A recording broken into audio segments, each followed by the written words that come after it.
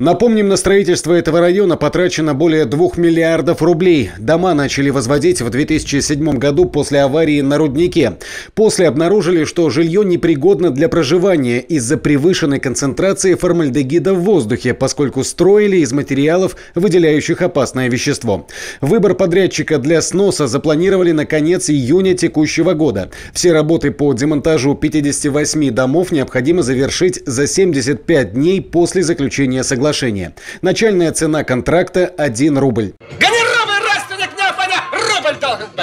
Ранее глава города Сергей Дьяков уже высказывался, что на эту землю у города есть планы. Малоэтажную застройку мы в районе формальдегидных домов строить не будем.